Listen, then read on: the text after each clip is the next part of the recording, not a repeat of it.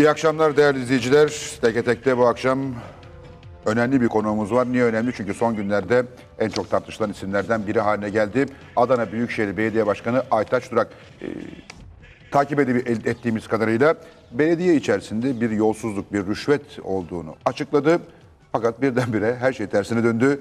Ee, rüşvet var, burada rüşvet alanlar var diyen Aytaç Durak şimdi rüşvet alan olarak e, ortada ve bugün de e, mensubu bulunduğu partinin genel başkanı e, Sayın Devlet Bahçeli Aytaç Durak'tan partiden istifasını istedi. Adana'da neler oluyor? Kim rüşvetçi, kim değil? Aytaç Durak hakkındaki iddialar neler, neler değil? E, bütün bunları konuşacağız bu akşam. Aytaç Bey hoş geldiniz. Teşekkür ederim. Ben size teşekkür ederim çünkü genelde Türkiye'de hakkında böyle iddialar olan isimler pek televizyona çıkmazlar. Ee, siz bir cesaret göstererek geldiniz. Ee, sağ olun. Ee, umarım pişman olmazsınız. Ben, ben e, bugüne kadar hiç ters düşmedim. Ki Ters düşüyor gibi görünürüm. Bütün büyük bir çoğunlukla medyada üstüme gelebilir. Hep manşetlerde sanki Evet. ait. Şimdi imamın vaktiyle biz öğrenciyken İstanbul'da Beykoz imamının keçisi çalınmış. Ama ertesi gün gazetelerde imam keçi çaldı diye yazıldı. İmam keçi çaldı diye yazınca haber oluyor. Ama imamın keçisi çalışınca haber olmadığı için Şimdi göreceğiz e, keçilere ne olduğunu birazdan. e, önemli olan keçileri kaçırmamak e, Sayın Durak. 20 yıldır belediye başkanısınız değil mi? 21 oldu. 21. Yani belediye başkanlığından emekli olabilirsiniz. Evet. Nasıl oluyor bu iş? E, iki dönemde belediye meclis üyeliğim var. Evet, ondan önce belediye meclis üyeliği var. Evet. E, şimdi ben e, çocuk... Kaç partide bu arada? 3 partide. İşte parti önemli değil diyorum ben her zaman. Siyasi partiler hizmet için, belediye başkanı için kastediyorum. Amaç değil, araçtır diyebilen biriyim. Bunu her belediye başkanı da diyemez. Kolay kolay takdir edersiniz. E, bu ben e, küçük yaşlarda Adana'da e, sanıyorum ortaokul son sınıf ve lise çağındayken e, aileden enişte, aileden teyze oğlu belediye başkanlığı yaptılar. Daha sonra amcam Karahisar ilçesinde belediye başkanlığı yaptı. Ve 1963'te ben İstanbul Teknik Üniversitesi'nden inşaat mühendisi olarak mezun olup Adana'ya gittiğimde devlet su işlerinde işe başladım. Ama aynı yıl abimi belediye meclisine girmesini rica ettim. İki dönemde abim belediye meclisi Niye abinizi yaptı. istediniz? E ben memurdum, memur be- meclis üyesi olamadım. Aileden birisi illa olacak orada. Yani ben e, e, oldum olası inşaat sektörüne meraklıyım. Adana'nın yanlış yere kurulduğunu iddia ettim. Çocuk yaştan beri Adana'yı kuzeye taşımak. Ta lise çağından beri e, barajı yapmışlar. Sulama kanallarını yapmışlar. Suladıkları yeri Çukurova'ya şehir yapıyorlar. Kanalın üstünde şehir yapılmıyor. Ben e, öğrenciyken Avrupa seyahatimde turist olarak dolaştım. Ve geldiğimde Yeni Adana dedim, Yeni Delhi'yi gördüm. Dünyanın en mezbele şehri eski Delhi, en modern şehri İngilizler yapmışlar Yeni Delhi. Ve ona örnek heveslendim. Yeni Adana lafı etmeye başladım. Bir arkadaşım dedi ki "Ge- geç, geç, geçtiğimiz yıllarda. Yo dedi sen dedi lisedeyken dedi Yeni Adana derdin dedi. Kanala yüzmeye gidermişiz sulama kanalına. Dersten kaçtığımız zaman erik bahçeler Mayıs ayında bademler çiçek açar Nisan'da. Neyse öğrenci bisikletlerimiz vardı. Bağa giderdik. O kanala yüzerdik. Ee, ben köprüye çıkarmışım dermişim ki suladıkları yeri şehir kuruyorlar. Sulamadıkları yeri dağ yapıyorlar. Yani Adana'yı taşımak için belediye başkanı oldunuz bir yerden bir. Yok öyle tesadüf öyle geldi. Belediye başkanı olmadan önce Adana'yı taşımaya karar vermiştim. Bu ne garip değil mi?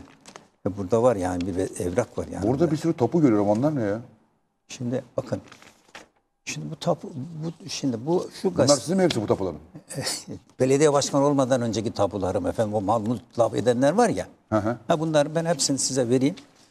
Şu Allah aşkına. Yeri geldiğinde alırım. Yeri geldiğinde alırım. Bak şey Adana'yı taşıma dediniz de. Bakın şu gazete 1982 tarihli. Hürriyet'in Adana ilavesi. Ha, Ama bu kadar ilan vermiş. Baraj çevresinde arsa yağması sürüyor. Durak toplu konutta güvence esastır. Ama nasıl bir güvence? İsim veriyorum. Bunlar bizden daire alanlar diyorum ve devam edecek diyorum. Bizi bizden daire alanlardan sorun diyorum. Ta o zaman Hodri Meydan O diye. zaman ba- başkan değilsiniz daha. Değilim tabii. O zaman da Hodri Meydan diyorum. Şimdi işte Adana'ya kuzeyde taşıma o zamanki broşürümüz bu. Bu broşürün altına yazdığım şu. Ben Taksim, Taksim Adana'yı kuzeye taşıyoruz. evet. Ne zaman 82 tarih burada. 82. Ben Yani daha ben belediye gazeteciyim. Belediye başkan olmadan iki yıl evvel. Eğer ba- belediye başkan olmasaydım yine Adana Kuzey'e taşınacaktı. Ben taşıyacaktım. Ev Ama- yaparak. Ama ama başkan olunca elim kolum bağlandı. İ- Bağlandı mı hakikaten? Affedersin köpek diyecektim de burada olmaz değil mi?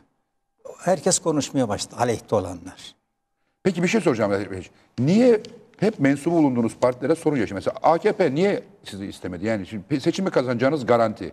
Hiçbir sorun yok. Ee, ve Adalet ve Kalkınma Partisi'ne rağmen kazandınız seçimi. Çünkü güçlüydü Adana'da sizle beraber. Niye Adalet ve Kalkınma Partisi istemedi? Ne güzel bir soru. Dün bir canlı yayına telefonla katılmıştım Adana'dan. Buraya cevap vereceğim de. Bir dedi ki senin malın dedi 2001 ile 2010 arası- 10 arasında birdenbire artmış dedi. Miras mı kaldı aileden dedi. Vallahi sanki de çanak soru soruyor gibisin dedim. Evet dedim miras kaldı dedim. Mı Ka- kaldı? Kayınpeder ölünce 2001 ile 2000 arası Zengin miydi kayınpeder? e- eşimin kendisine e, fena değildi. Adana'da belli bir varlıklı ailedir. 1400 dönüm Çukurova'da tarla ve bahçe kaldı Narenciye. Ha, miras yolu arttı bu yani. Ha, değil efendim onu demek istemedim. Şimdi sizin sorduğunuz soru da neydi? Şimdi AKP niye sizi istemedi? Yani? istemedi dedin. Efendim 5 sene dayanabiliyorlar bana. Odama girme yasak. Halk giremez. Halk mı giremez? Özel özel iş takibi yasak. Rüşvet yemek dünden yasak. Hep yasak. Ee, öpüşme yasak. Ee, adam niye e, e, ihale vermek yasak? Adam kayırma yasak. Benim belediyem Ama çok öyle. iddialar çıkıyor. Hep hakkında iddia çıkıyor. Yani ateş olmayana duman çıkar mı bu kadar? Tam tersine e, beceremeyince bir iş gayrimeşru bir rahatlık olmayınca o zaman da istemiyorlar tabii 5 sene sonra usanıyorlar benden. Diyorlar ki Ama seçmen size oy vermeye devam ediyor. "Ha, seçmen ne yapıyorsunuz? benim." Zaten ya halk sevecek ya aracılar sevecek sizi. Aracılara boyun eğerseniz halk uzaklaşır. Halka yaklaşırsanız aracılar uzaklaşır. Şimdi ama me- yeni partiniz de size istifa çağrısı yaptı. Bugün O, Devlet o Bahçeli. tüzüklerin de öyle efendim. Onu makul karşılıyorum ben. Sayın Bahçeli ile bizim e, güven oyumuz yüzde yüz tamdır. Tam mıdır? Tamdır. Bugün size randevu vermemişler ama. Hayır efendim ta- talepte bulun da bu haber yanlış. Ben talepte bulun ben buraya geldim. Akşam sizle görüşeceğim ya. Yani, Yani ben bugün rande- öyle bir haber geçiyor ki ajanslardan. Yani- Aytaş Durak e, randevu talep etti, genel başkan vermedi diye. çok affedersin bir canlı yayındaydım. Uzamasın istiyordum. Ve uzatınca da ben dedim Ankara'ya gitmeye mecburum dedim. Ha salladınız yani. Ben salladım. Onu da haber yapmışlar. Ankara'daki e, muhabirlerine haber vermişler. Aytaşlar buraya gelir karşılayın diye. Onlar da partiye sormuşlar. Öylece bir haber düştü ajanslara. Peki 20 yılda Adana'da ne yaptınız? Yani ne değiştirdiniz de Adanalılar size bu kadar destek oluyor, bu kadar oy veriyorlar? Şimdi efendim bir tanesi demin söyledim. Şehri tarım alanlarından kurtarıp kuzeye taşıdım. Yani kuzeyde Allah yardım eder bana her zaman. Ee, 1998 depreminde güneyde Eskişehir'de 150 kişi öldü. Evet. Yukarıda hiçbir şey olmadı. Çok katlı karkas binalar direndi. Hatta ondan sonra da bir İstanbul gazetesi büyük bir manşet daha. İstanbul'a da Adana modeli diye. Yani betonarme karkas binalar kolay kolay yıkılmaz. Sağlam zemine oturtulursa, iyi hesap yapılırsa, malzeme iyi seçilirse ve ustalık, işçilikte de kusur yapılmazsa betonarme yıkılmaz efendim. O bakımdan yukarıda büyük bir test geçirdi yeni Adana. Ve Adanalılar onu gördüler. Şimdi Adanalılar çeşmeden bu suyu içiyorlar biliyorsunuz değil mi? Öyle mi? Çeşmeden içiyorlar. Ve yazın da soğuk içiyorlar. Düşünebiliyor musunuz? Bütün Nasıl soğuk içiyorlar yazın? Beş- şey mi taktınız? çe- çe- çeş- Buzluğu mu taktınız Şimdi yola? halk, halk bağırıyor Haziran ayı gelince. Artık suyu soğut başkan diyorlar. Ben diyorum haftaya soğuyacak Nasıl diyorum. oluyor iş? Temmuz ayı günü vanaları değiştiriyoruz. Soğumaya başlıyoruz. Nasıl oluyor iş? Ha Şimdi halk buz fabrikaları kurmuş diyorlar. Boruya atıyor diyorlar. Ve halk çok söylentiler çıktı. Şöyle gölün alt katmanlarında soğuk su ağır aşağı iniyor. Ben bir tarih İsveç'te inceleme yapmıştım. Bal- Baltık Denizi'ni bilirsiniz. Onun adı bir adı da Kuzey Buz Denizi'dir. O Baltık Denizi'nin tabanında artı 4 derece su var. En ağır su orada birikiyor. Ee, bazı, yazın sıcak olduğu zaman şehirde, Stockholm'de O suyu alıp o suyu havadan alıp, o suyu alıp e, radyatörlerden geçiriyorlar. Şehir, bütün şehri soğutuyorlar. Ve o suyu karasal bir yerde yer altına ben pompaj ediyorlar. Kış geldiğinde de o zaten radyatörlerden geçince o soğuk su ısınıyor ya 18-20 dereceye. O suyu geri alıyorlar. Yaşancılardan geçiriyorlar. Bu sefer ısıtıcı olarak kullanıyorlar şehirde. Allah Allah. Ya. E bunu ben orada yaşadım, gördüm. E Adana'da da bunu yaptığımızdan dolayı e, şehrin altında 5000 kilometre uzunluğunda su, su şebekesinin tamamında soğuk su akar.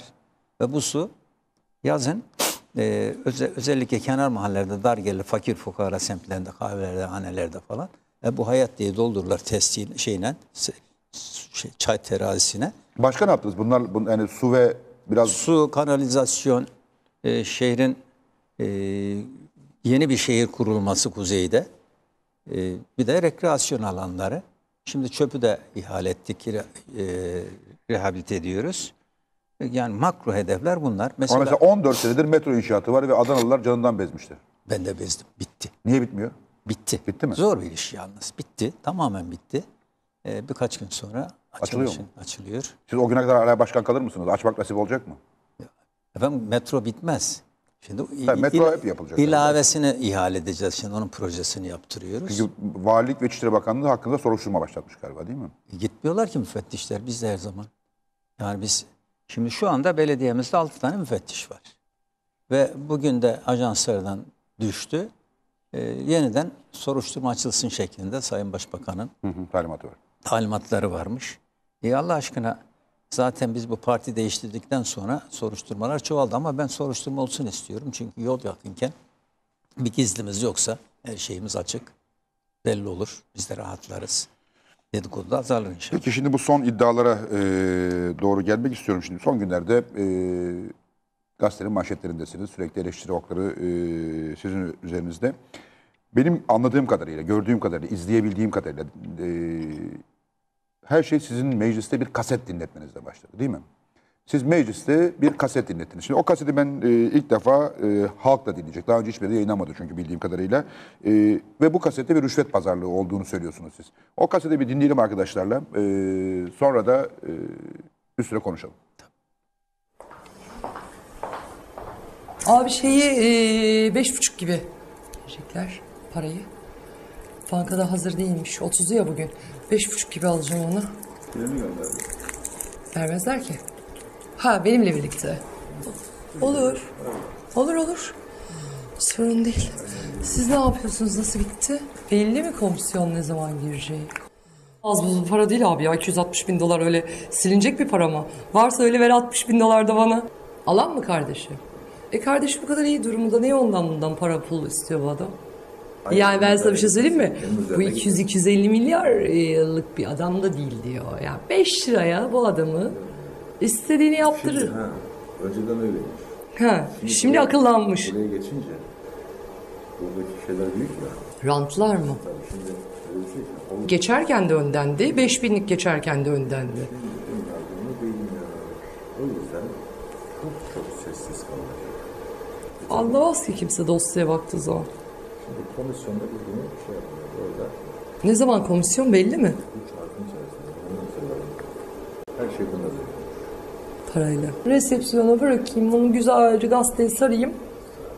Türk Hava Yolları poşetine koyayım. Gelsin. Bence verme. Neden verme? Meclis bitene kadar elinde tut. Buradasın ya. Sen de kafayı çalıştırırsın. Nasıl çalıştırdın? Diyelim yatırımcı geliyor. Dayının söylediğim şey şu. Adam da bir var. Gelsin. Ya yapsın da nasıl geçeceksin Aytaş Durağı? Biz bir buçuk senede geçemedik. E var benim şimdi bir işim daha Adana'da. Büyük bir AVM. Neresi söyle. Bilmiyorum işte yeri. Oturup konuşturtturacaktı beni. Hiç kimseyle görüşmesin. Hiç kimse Direkt sana gelsin. Oturup konuşalım. Sen bir dosya var çok kötü patlayacak dedin. Bütün Adana çalkalanacak. Para mı almışlar? Çok çok. Tamam çıkalım abi. Ben dediğim gibi alıyorum. Getiriyorum yukarıya teslim ediyorum. Kaç? Hazır mıymış? Mi sen? İşte hazırlıyorum dedi kadın. 30 olduğu için bugün para parça parça geliyormuş. Dünden bildirmek gerekiyormuş. Biz de dünden ne bileyim benim aklıma bile gelmedi. Götürür yukarıya teslim ederim. Aman abi sana güveniyorum. Adamı çağırayım da. Ha bir söyle de. Hayret bir şey ya. Abi bak. Beş defa. Ne diyor arıyor? Para geldi mi? Meclis üyesi para geldi mi diyor. Nedir bu kaset? Bir rüşvet pazarlığı mı? Rüşvet pazarlığı olduğu belli. Komisyondan geçtikten sonra, meclisten geçtikten sonra ödensin. Para şu kadar.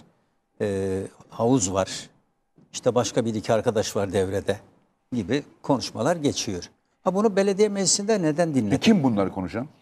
İşte bir tanesi belediye meclis üyelerinden biri, isim vermiyorum. Niye vermiyorsun isim? Efendim savcılığa da verdim dost. İş buraya kadar geldikten sonra isim vermek niye? Ee, yasal yönden sakıncası olduğunu söylüyor. Öyle mi? Evet. Peki ama şimdi bütün belediye meclis üyeleri töhmet altında kalıyor. Yok biliyorlar onların kimin sesi olduğunu. Biliyor mu herkes? Herkes biliyor. E herkes biliyorsa biz niye bilmiyoruz? Partisi de biliyor. Partisi zaten bu üyeyi e, ihraç talebiyle e, şey yaptı. Hangi parti? Disipline verdi. Cumhuriyet Halk Partisi. CHP'li bir üye bir iş adamından e, aracı vasıtasıyla rüşvet almış. Alacak işte. Alacak. Onun, Onun pazarlığı, yapılıyor. yapıyorlar. Ve başka meclis üyelerinden bahsediliyor. Havuzdan bahsediliyor. İşte 260 bin Yani belediye meclisinde bir havuz var. Bütün partilerden kişiler var. Bazı, Ve bazı üyeler, bazı üyeler yok oldu. bütün bir, bir havuz var. Bütün bütün partilerden isimler var bunun içerisinde. Tabii bütün meclis değil ama Gazete- bazı üyeler. Gazetelerde öyle haberler çıkıyor. Sokakta bu dedikodular yaygın şekilde dolaşıyor. Ve belediyede de muhalefet çoğunlukta benim partim az üyesi olduğu için e, iktidar muhalefette oluyor. E, onlara benim e, grup kararıyla e, düzene Peki siz bu bandı niye dinletme gereği hissettiniz e, belediye meclisinde? Efendim nasıl olsa savcılığa verdiğim anda oldu bu. Yüz ifadelerini göreyim. Tepkilere göre değerlendirme yapacağım. Ben de insanları tanımak zorundayım. Bana daha önce e, e, e, dürüst, namuslu belediye meclis üyesi arkadaşlarım bazen tek tek uyarıda bulundular. Dediler ki sokakta dedikodu çoğalıyor. E, meclisimiz şaibe altında oluyor. Buna siz e, başkan olarak el koymanız lazım. Komisyon toplantılarına gelin e, ve vaziyet edin. Biraz daha o- otoritenizi kurun şeklinde ifade bulunur ama sayısal yönden ben azınlıkta olduğum için orada sayısal otoriteye Yani siz kurmak- meclisi engelleyemiyorsunuz böyle karar, rüşvet karşılığı karar almasında öyle mi? çoğunluk bende değil ki. Siyaseten e, bir çoğunluğu kurabiliyorlar. Ve Bu zaten toplam kaç dakikada bir kayıt? 47. 47 dakika. Şimdi biz kısa bir bölümünü dinledik Dört burada. dakika, üç Biz dakika. 4-5 dakikasını dinledik. Ee, daha net anlaşılıyor mu tamamını dinleyince neyin ne olduğu? E tabi bunlar e, savcılık bunu araştıracak, birleştirecek. Zannediyorum. Peki siz şüphelendiğiniz yani orada adı geçen sesi duyulan kişinin kim olduğunu da savcılığa söylediniz mi? Hayır. Savcılık nasıl bulacak peki bunu? Bu arasın bulsun. Bulur efendim bulunur. Bulunur mu? Hiçbir şey gizli kalmaz siz merak etmeyin. Ben bu yaşa geldim. Adana böyle büyük yer değil. Hatta Türkiye o kadar büyük değil. Bir e, pislik varsa bir yerde dedikodu varsa gün ışığına bir gün çıkar. Bir gün çıkıyor ama yani bir gün yani. O Ben hangi erken gün? çıksın diye hızlandırdım zaten. Peki bu- bu kaset size nasıl ulaştı yani? Çünkü bayanın sesi, e, kadının sesi çok net. Erkeğin sesi o kadar net değil. Sanki e, o kadın kaydetmiş bunu gibi. O mu kaydetmiş? O öyle anlaşılıyor doğru. Şimdi o, o- e, kadın birilerine dert yanmış demiş ki beni yo- yokuşa sürüyorlar demiş, engelliyorlar demiş. E, ne yapabilirim demiş. İşte bu parasal yönden baskı yapıyorlar deyince biri akıl vermiş sesini kayda al demiş başkana götür. Ve başkan Adana'daki halk güveniyor bana zaten. Halbuki zaten burada tehlikeli zor olan şu. Halk güveniyor. O vatandaş da sıkıntıya düşmüş derdini geliyor açıyor. Ben de olayın üstüne gidiyorum. Hal bu andayken tepki koyan arkadaşlardan biri adeta cambaza bak der gibi gündemi dışarı taşımak istiyor. Ve bana olmadık hakaretlerde bulunuyor.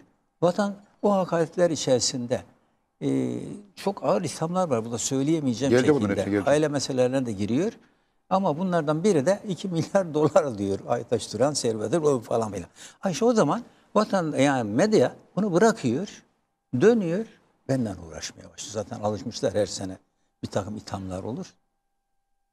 Şimdi bu, bu kasette enteresan iddialar var kasetle ilgili. Bu kasetin kaydının kayınbiraderiniz Faruk Köymen'in bürosunda yapıldığı öne sürülüyor. Doğru mu bu? Yok hayır asla.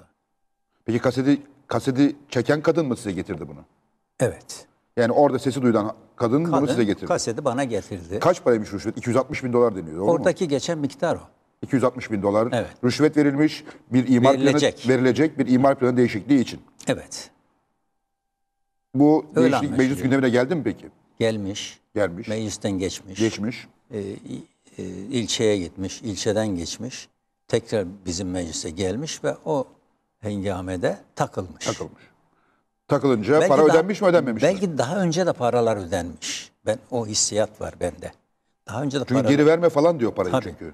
Şimdi daha önce de paralar ödenmiş.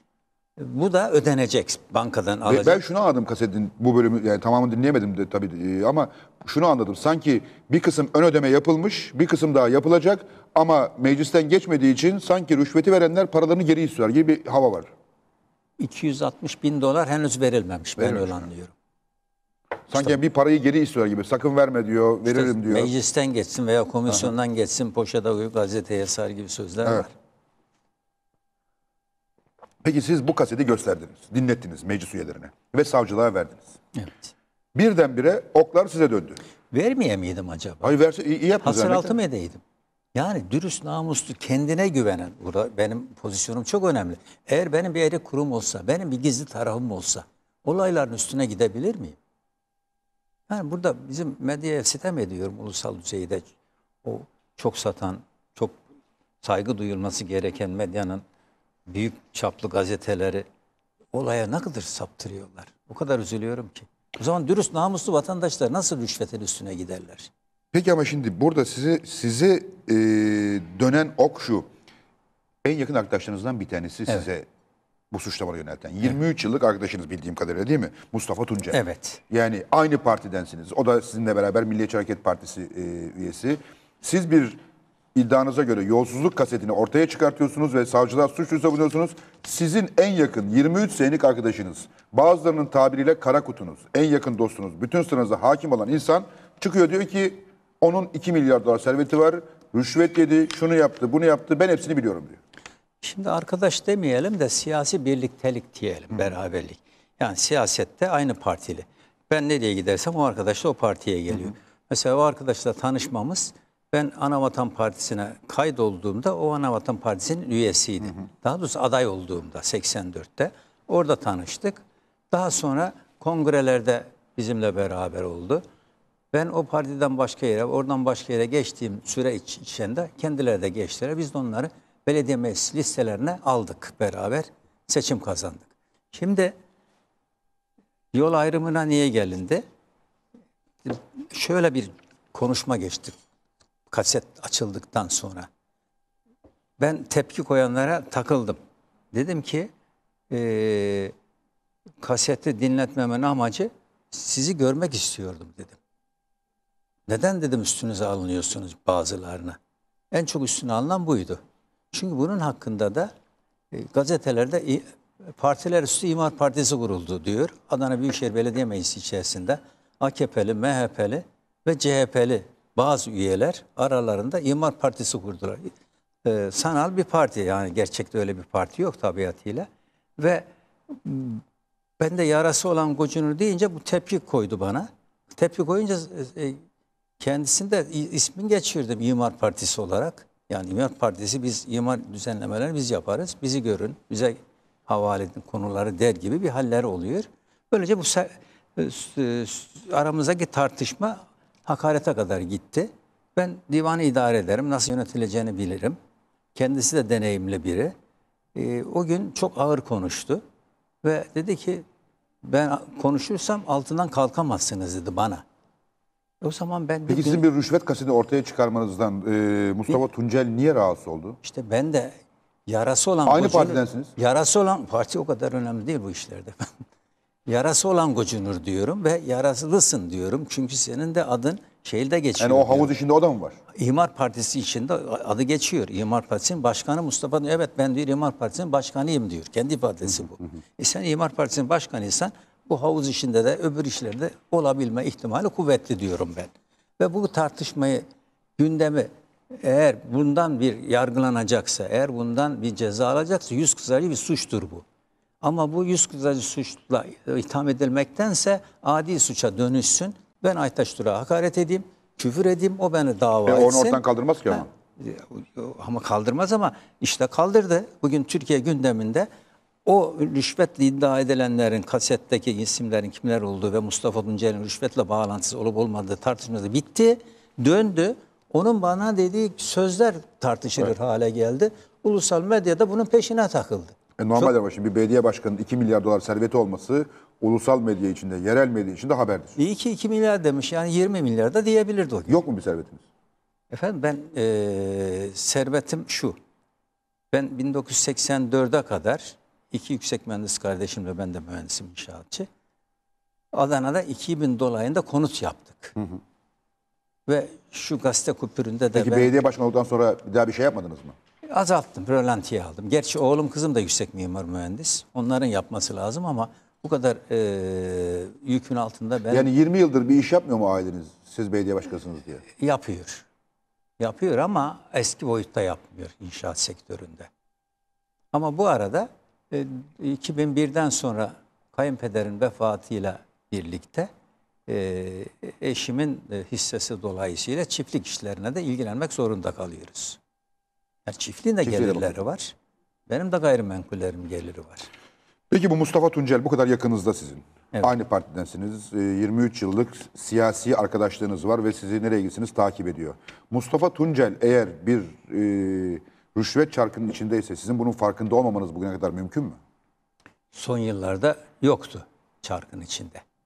Belki son yıllarda yani bu bu seçime kadar mecliste mutlak hakimdim ben. Şahsen hakimdim. Çoğunluk partisi bizim de. Olduğu için. Ee, işte mesela ben e, AK Parti'de seçime Yani siz girseydim. azınlık hükümetinin başbakanı gibisiniz. Tamam.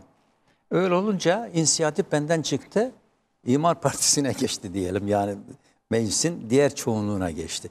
Diğer çoğunluk üzerinde menfaat birlikteliği olanlar birbirlerine kaş göz edip e, oy çokluğuyla meseleler yönlendirebilme gücüne sahip olabilirler. Bu mümkün. Artık inisiyatif, inisiyatif bende değil. Hatta meclis konuşmalarında veya e, bir takım basın toplantılarında veya televizyon konuşmalarında bu ifadeleri kullanıyorlar. Diyorlar ki artık Aytaç Duran gücü yok. Biz güçlüyüz. Meclis olarak her karar alabiliriz. Her konuyu hallederiz diyorlar.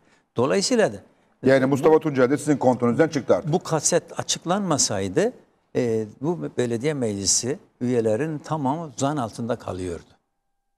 Ve daha kötü işlere bulaşabilirlerdi. Aytaç Bey bir kısa reklam arası vereceğim. Bu arada çok da mailler geliyor. Onları da bir göz atalım. Ee, reklamlardan sonra devam edeceğiz.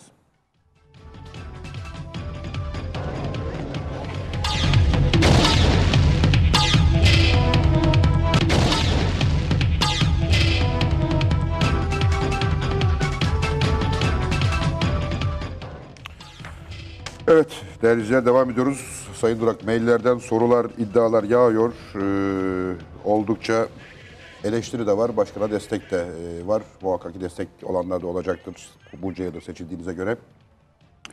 Ee, hemen e, devam edelim. Evet, be- be- belediye meclisinden ve partiden arkadaşınız, 23 yıllık arkadaşınızla niçin bu hale geldiğinizde kalmıştık? Şimdi efendim kendilerinin bazı talepler oluyor. Bundan 2-3 ay kadar evvel bir e, park ve bahçeler müdürüne bir yaptırım, bir tavsiyede bulunmuş. Bir iş makinası kiralanacakmış. Dilediği şahsın makinasının kiralanması için e, ben de kendisine yardımcı olacağımı söz verdim. Ama fiyat farklı olunca bizim arkadaşlar doğrusunu yapmışlar. Daha ucuz olanı kiralamışlar ve e, tehdit ederek vatan e, bizim parklar müdürünü fena halde bir takım militanlarına dövdürdü. Parklar Başlar Müdürü militanlara dövdürdü. Dövdürdü. Fena halde dövdürdü. Bu bir gözdağı vermekti. Kime gözdağı verecekti? Belki genel sekreter, belki dolayısıyla bana gözdağı vermek istiyordu. E şimdi zaten Peki o zaman niye bir suç duyurusunda bulunmadınız veya niye açıklamadınız e, bunu? şimdi bu tarihte e, rüşvetle ilgili elimizde kat- kanıtlanabilecek bir duyumlar da yoktu. Hı hı. E, tabiatıyla benim hassas olduğum konu devletin, milletin parasını gayrimeşru birilerine yedirmek, yedirtmemek. E, makine kirası o kadar önemli olmayabilir. Hatta bir ihale de o kadar önemli olmuyor. Verilmesi gerekene de verilmemesi gerekene de verilebilir. Zaman zaman hata olur, kusur olur veya düşük fiyat verir, yüksek fiyat verir neyse. Ama e, deminki kasette söz konusu olduğu gibi bu bu imar değişikliği geçerse para vereceğim. alırım. Evet, o, o, o, ona asla müsaade etmememiz lazım. Bu arada Mustafa Tuncel hattaymış arkadaşlarım söylüyorlar. Ee, cevap hakkı var. Ee, Mustafa Bey buyurun. Sayın Tuncel, Evet efendim iyi akşamlar diliyorum. iyi akşamlar. Sayın Başkan'ı dinlediniz zannediyorum. Ee, Evet dinledim. Buyurun sizi dinliyoruz.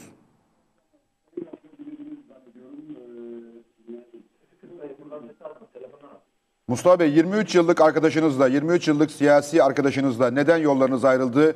Ee, Sayın Durağan iddialarını duydunuz. Ne diyeceksiniz? Şimdi efendim Şimdi efendim ben 80 yılına kadar e, Türkiye'de en uzun ülke ocağı başkanlığı, MHP Gençlik Kolları Başkanlığı yapmış bir insanım. Benim kadar uzun süreli e, MHP'de görev yapan insan sayısı son derece azdır. En uzun süreli ülke ocağı başkanıyım ben. Mustafa Bey bu bizi ilgilendirmiyor. Sizin Aytaç Durak'la ilgili iddialarınız ve Aytaç Bey'in sizle ilgili iddiaları. 80 yılında 80 yılında 80 yılında ANAP'a geçtim. ANAP'ta Peki ANAP'ta yollarımız kesişti ve yıllarca ANAP'ta beraber olduk. Sonra AK Parti'ye kendisi geçerken benden rica etti. Sen de AK Parti'ye geç. Ya başkanım benim artık politikayla uğraşmıyorum. Benim artık işim bitti dedim. Yok illa büyük sözü dinle dedi. Beraber geçtik. Ondan sonra da e, işte kendisi her dönemde bir siyasi partiye gitmeyi alışkanlık haline getirmiş. En son MHP'ye gelince e, benim zaten eskiden beri MHP'liyim. E, ben de kendisiyle beraber MHP'ye geçtim. Şimdi Sayın Başkan MHP ile e, işi dışlı olunca beni MHP'nin fotokopisi gördü. Aslı varken fotokopiye ne ihtiyaç var? Başladı benim kendine göre kuyumu kazmaya. Daha sonra ben başkana birkaç kere ithal ettim. Bu dönemde artık başkan vesayete muhtaç hale geldi. Fakat gitti oğlunun vesayetine girdi. Belediyeyi uzaktan kumandayla oğlu idare etmeye başladı. Oğlu kendisi CHP'li olma e, olmasına rağmen Mustafa Bey, Mustafa Bey, Mustafa Bey. Evet efendim buradan Mustafa. Bey. Peki tamam efendim. Tamam. Şu, şu iddialarınızı alsak yani şimdi diyorsunuz Tamam, ki işte, ha, söyleyen, söyleyen. 20, 23 yıldır beraberdik, iyiydik. Beni bypass edip MHP ile doğrudan ilişkiye geçti. Buna mı sinirlendiniz ve Hayır, hayır. daha önce açıklamadığınız yolsuzluk Hayır. açıklamaya başladınız? Hayır. Geçmiş dönemde geçmiş dönemde efendim geçmiş dönemde Aytaç Bey'in Süleyman Demirel bulvarındaki arsasından dolayı biz e, 54 meclis üyesi iki tane de e, bürokrat yargılanmaya başladık. Ben hayatım boyunca bir tane dahi bir trafik kazasının dışında adliyeye gitmiş insan değilim. Kendisi hayatı boyunca da adliyeden çıkmaz. Bun- Bundan da gurur duyar. Bu bu arsadan dolayı kendi arsasından hanımının üzerine ait olan arsadan yargılanmaya başlayınca ben dedim ki başkan burada bir hata yapmışız. Allah aşkına bunu eski haline getirelim, yargılanmaktan kurtulalım. Eski hali konuttu. Daha önceki hali e, spor alanıydı. Daha önceki hali de başkanın aldığı zamanki hali de yeşil alandı. Başkan bu işleri çok iyi bilir.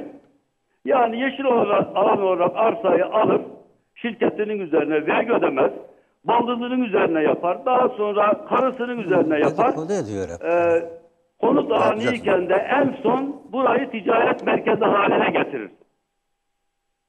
Peki iki, Buradan- buradan mı 2 milyar dolar kazandı? Yani- Diyorsunuz ki 2 milyar dolar serveti var. Buradan mı? Kurtulacağız. Kendisine söyledim. Alo. Efendim dinliyorum sizi. Ha, Ses alamadım ben ama. 2 milyar dolar serveti var diyorsunuz başkanın. Bu işten mi kazandı 2 milyar dolar serveti? Bu bu işten dolayı bu bu işte oğlu bura, bu arsa ticaret alanı olunca oğlu e, çeşitli kuruluşlarla pazarlık yapıyor. 40 trilyona kadar çıkıyor sadece bu arsa. Başkanım bu arsa gibi 100 tane arsası var. Peki bunları niye daha önce açıklamadınız Mustafa Bey? Niye açık? Yani sebep olsaydı açıklardım. Aynı ya kimse bana gelip müfettişler geliyor. Bu meclisin 21 yıllık başkanıysa kendisi ben de 21 yıllık meclis üyesiyim. Aynı zamanda meclis başkan vekiliyim. Soruşturma yapan savcılar, soruşturma yapan efendim e, müfettişler bana gelip sormazsa Ben kendi kendime suç duyurusundan bulunayım kendisi hakkında. E bulunabilirdiniz. Niye bulunmadınız? Keşke bulunsaydınız. Keşke bulunsam da, keşke bulunsam da şartlar öyle oluşmadı. Peki e, başkanın vergi kaçırdığını iddia ediyorsunuz. Aytaç Durak'ın nasıl belediye başkanı olduğunu biliyorum diyorsunuz. E, bunlar ciddi ithamlar. Seçimlerde hile mi yaptı Aytaç Bir Durak? dakika tabii. Önce vergi kaçakçılığına gelelim. Gelelim. Ha, şimdi son son günlerdeki mecliste ben size o meclisin CD'sini de göndereceğim. iyice inceleyin. Tabii lütfen. Ee, kendi kendi arsasını meclise getirip başkanlık yapması suçtur. Kendisi başkanlık yaptı, yaparken e, kendi Suç arsasını meclise getiriyor. Burası 2 onda 4, 2 onda 40 efendim şeyken e, konut yeriyken yani villalık araziyken e, okul yeri yaptırma vaadiyle bir onda altı yoğunluk e, yoğunluklu olarak size okul yaptıracağım vaadiyle birine satıyor. Yani meclise getirip meclise getirip kendi başkanlık yapıp komisyona gönderdikten bir gün sonra başka birine satıyor. Yoğunluk artışı vaadiyle kendi itirafı var televizyonda. Arkasından ben kendisine sordum. Sayın Başkan bu arsayı kaça sattın dedim. Dedi ki 30 liraya sattım dedim. Ben gittim e, tapudan baktım 18 lira göstermiş. E, bu yüzde 12'nin vergisini göstermemiş. Bir şehrül emin olan bir insan koskoca 73 yaşında yıllardır belediye başkanı yapan bir insan ben bu ihbarı yapmasaydım e, ben diyor pişmanlıkla diyor veririm diyor onu düzeltirim diyor. Götürüp pişmanlıkla yapacağı yerde doğrudan 30 liradan gösterse de vergisini tam ödeseydi olmaz mıydı? Ben fakirin fukaranın hakkını yemem işte namuslu adamım der ama işte en basit şeyde zaten e, Aytaş Durak Adana'da bir e, imparatorluk kurmuş. Karşısına kimsenin çıkması mümkün değil. Herkesi yalanla, iftirayla susturur. Burada da açık açık vergi kaçırdığını e, ne olur yani bu kadar vergi kaçırmışsam kaçırdım medyanın huzurunda söyledi. Arkasından tekrar o arsayı gündeme getirdi. Ben dedim ki Sayın Başkan sen bu meclisi yönetemezsin. Bu arsa senin, senin sattığın arsa. Lütfen sen çekil. Bu, bu mecliste bunu ben oylatayım dedim. Yok dedi çekilmedi. Doğru düzgün oylatamadı da burada da reddedilince başkan yoldan çıktı ondan sonra. Peki hapse attıracağım başkanı diyorsunuz ve seçimlerde hile yaptığını e, söylüyorsunuz. Nasıl Hayır, olacak bu iş? seçimlerde hile yaptığını söylemedim. Onu hiç kimse öyle bir şey söyleyemez. Ama hapse attıracağım. Niye? Hapse atılacak 3-5 tane çok önemli suç var. Bu suçları ben e, bu çatışma başladıktan sonra bana daha çok ihbar olarak geldi. Şu anda e, bütün deliller elimde. Zaman içerisinde kim haklı, kim haksız görüşeceğiz. Yani bunları daha önce bilmiyordunuz. Bu olaydan sonra mı öğrendiniz? Tabii aylardır 5-6 aydır çatışmaya başladı. Kendisi gayet iyi bilir. Defalarca bir araya gel- geldik. Kendisi çağırdı. Hayatında eğer şu kadarcık din, iman, vicdan varsa o konuşmaları kendisi açıklar. Ben Umre'ye giderken kendisine gittim. Bu oğlun eline bu belediyenin üzerinden çek dedim. Yani ayıp ayıp bu yaştaki insan gülüyorsun. Farklı bir şey söyledimse erkek adamsam söyle. He. Pe- peki e, yine merak ettiğim e, için soracağım bir şey var. Buyurun Suç duyurusunda bulunacağım savcılığa dediniz e, Aytaç Durak hakkında. Bulundunuz mu, bulunmadınız mı? Evet efendim bugün başsavcı, bu başsavcılıktan yetkili savcılar beni aradı. Ben suç duyurusunda bulundum. Üç gün süre istedim. Bu sürede bütün elimdeki bilgi ve belgeleri toplayıp e, ek şey olarak, doküman olarak e, savcılığa bildireceğim. Mustafa Bey son bir şey daha merak ettiğim için e, sormak zorundayım. Kusura bakmayın e, belki sinirleneceksiniz buna ama. Sabaha Say- kadar sorabilirsiniz. Sayın Durak e, az önce bir rüşvet kaydı dinletti. Belli ki belediye içerisinde birileri rüşvet pazarlığı yapıyor. Sayın Durak'ın iddiası e, o yönde. Ve dedi ki belediye meclisinde bir imar partisi kurmuşlar. Bu Bunun içinde de her partinin isim var dedi ve sizin adınızın da bunun içinde olabileceğini, kuvvetle muhtemelen bunun içinde olduğunu söyledi. Ee, sizin mecliste böyle bir grup içinde olduğunuz doğru mu? Şimdi şimdi Sayın Altaylı Ha. Sayın Altaylı Buyurun efendim. ben e, pazartesi günü ilk meclise geldiğimde ilk meclise geldiğimde e, kendisi ya bir gazete İmar Partisi var belediyede dedi. E, bunun e, işte ben kim olduklarını biliyorum diye konuşunca ben kendisine dedim ki e, siz dedim o İmar Partisi'nin başkanı olarak o gazeteci beni gösteriyor. Siz bunu bilerek mi söylüyorsunuz, bilmeyerek mi söylüyorsunuz dedim. Kendisi dedi ki bilerek söylüyorum. Benim de kanaatim öyle dedi. Dedim ki o gazeteciye bu yazıyı siz yazdırıyorsunuz dedim. O da dedi ki yemin billah etti ben yazdırmıyorum dedi. İşte ip orada koptu. Orada bu meclisi kendisi idare edemeyeceğini anlayınca çünkü bütün partilerde artık aklı başında bir sürü insan var. Kendinin bugüne kadar ne yaptığını da biliyorlar. Bundan sonra ne yapacaklarını da tahmin ediyorlar. İşte bu okul yerini getirip 30 liraya sattım diyor 100 liraya satmıştır. Onun da doğru söylemiyor.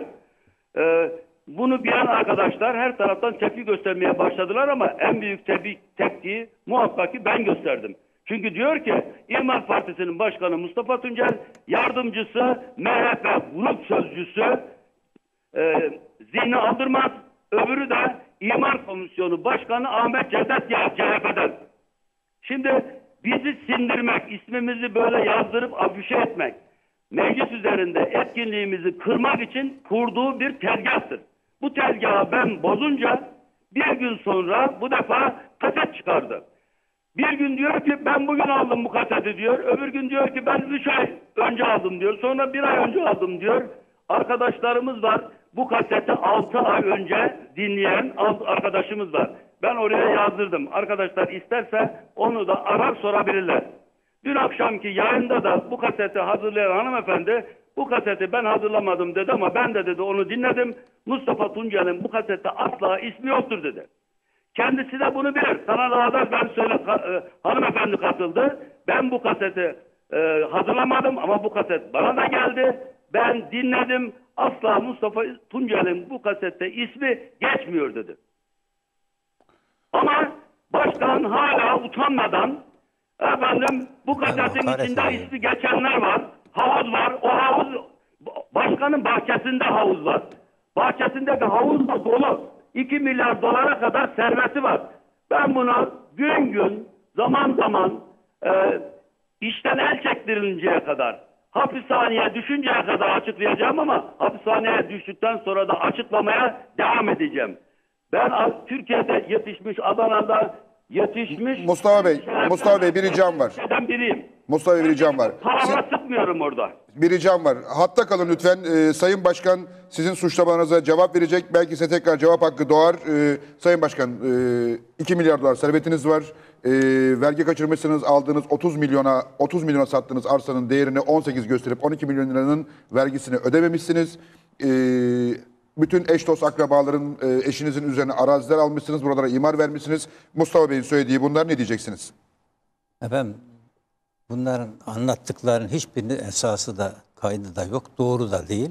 Ee, bir, bir suçluluk telaşıyla zaten işin başından beri o kaset açıklandığı gün telaşla ayağa kalkıp feveran etmesi ve İmar Partisi yani her partiden üyelerin müştereken imar düzenlemelerini yapıp rüşvet kombinasyonlarının döndüğü şeklindeki iddialara kendisi hem muhatap oldu hem de İmar Partisi Başkanı da benim dedi kabadayıca e, birkaç militanıyla beraber de oturuma gelmişti o gün.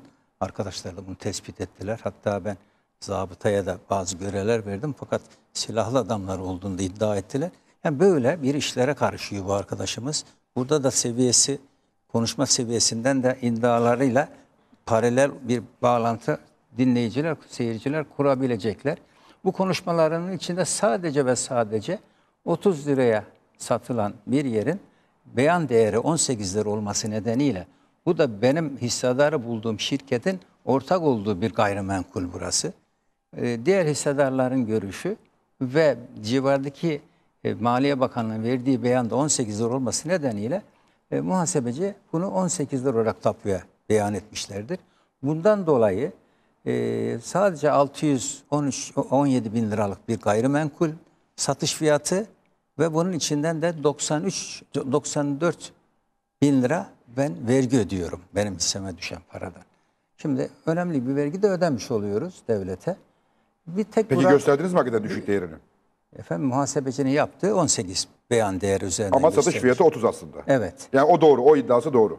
O iddiası doğru yalnız bunun bir suçu vesairesi yok. Sadece o beyan değerinden dolayı verildiği için muhasebeci kendi ifadesine göre e, Gelir vergisi mi, emlak vergisi mi Emlak. kaçırılan?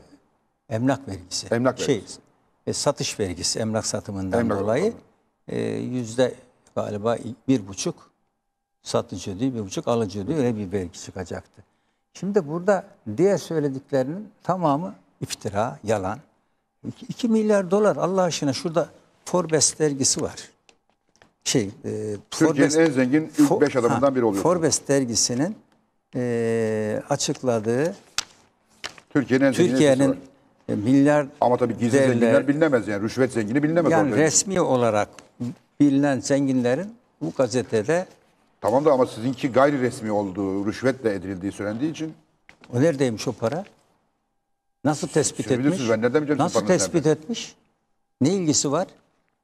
Yani milyar doların ne olduğunu ben anlatayım mı veya siz bilirsiniz. nereden bileceğim? Biz gariban bir gazeteciyiz. ya, ya Allah aşkına bakın bu, bu Forbes'in listesinde Rami Koç 1,5 milyar doları var. Türkiye'nin en zenginlerinden. Yani dünyanın milyarderlerini açıklıyor. Yani şimdi iyi Adanalılar bizi dinliyorsunuz. Yani benim Rahmi Koç gibi, Sabancı gibi bir servetim ama var? gayrimenkul zengin olabilirsiniz. O başka bir şey. Efendim gayrimenkul zengini olunabilir ama o da bir büyük zenginlik değil. Hep bunlar yalan söylüyor. Öyle bir yalan söylüyor. Mustafa Bey ki- yalan mı söylüyorsunuz? ya hem nasıl yalan söylüyor? 100 tane diyor gayrimenkul var oradaki Süleyman Demir'indeki değer olan arsa gibi diyor. O da yalan, ötekiler de yalan. Orada bir tane Ya- yalancı ya- varsa ya- yalan söyleyenler Adana kamuoyunun önünde hesabını verecek. Siz siz yarın ben saat on buçukta bugün öğleyin ilan ettim. İki gündür, üç gündür e, savcılığa gideceğim diye beyanatları var. Bir türlü gitmiyor. Gitmişler. Gideceğim diyor şimdi. Halen gitmedi. Gittim belgede götüreceğim diyor. Gitmem. Gideceğim diyor. Mustafa Bey gittiniz mi savcılığa gitmediniz mi? Efendim savcılık beni aradı. Ben de dilekçemi verdim. Elimdeki delillerle beraber verdim. Üç günde zaman aldım. Üç gün içerisinde avukatların dosyayı hazırlayacak, kendisine götürüp verecek. Beni bir dakika dinlerseniz efendim. bir şey Buyurun, söylemek buyurun, buyurun Mustafa Bey. Sayın Altaylar. Buyurun efendim. Şimdi bizim bu başkanımız gittiği her yerde der ki hayatında hiç yalan söylemedim der. Ben yalan söylediğini herkesin huzurunda en, o en az 10 kere ispat ettim. Ya hayatında hiç vergi şey vermedim, rüşvet vermedim dedi. Rüşvet verdiğini de konuşturdum. Onun kasetlerini de size göndereceğim. Nerede ne zaman ver? isterseniz- Ner- nerede vermişim yalan? da, ilk programa da sizin ilk programınıza da çıkacağım. Ama siz onu belediye meclisinin CD'lerini inceleyeceksiniz. Ben de ondan sonra gelip sizinle konuşacağım. Bekleriz Mustafa Bey. Nerede vermişim diye soruyor Sayın Durak. Nereden mi vermiş? Askerden askerliği erteletmek için rüşvet vermiş. Kendi anlattı mecliste. Yalnız dedi ben dedi haraç verdim dedi. Ya haraç olur mu askerliği erteletmek için? Haraç zorla alınır insandan. Şimdi- Bu gitmiş bir Ermeniye şey vermiş, e, rüşvet vermiş, e, şeyi erteletmiş, askerliğini erteletmiş. Belki askerlik de yapmamıştır ama onu tam bilmiyorum. Tövbe de. Şimdi bu kadar bak yalan söylüyor işte yine. Belki askerinde yapmamıştır diyor. Belki dedi ama. Belki diyorum belki. Bilmiyor mu yapıp yapmadığımı? Bilmiyor musunuz Mustafa Bey? Görmedim Vallahi bir evine çok gittim. Ben- Benim evimde askerlik hatıram var. Kendinin evinde hiç askerlik hatırası görmedim. E belki anti militaristtir canım o kadar da dert değil. Benim de evimde askerlik hatıram yok. Ben de yaptım askerliğimi. İşte her söylediği böyle. Her söylediği böyle. Bu, bu ekranda işgal ederse bu... Peki Mus- bir Mustafa şey Bey çok konuşmamız- teşekkür Ha. ediyorum size. Gerisini ben hallederim. Sağ olun. Ee, peki Aytaç Bey şimdi mesela iddialar geliyor. Şöyle bir iddia var. Ee, enteresan. Ee, iddia ki anneniz demiş ki ya bizim oğlan ne kadar kısmetli. Nereden tarla alsa önünden yol geçti arsa oldu.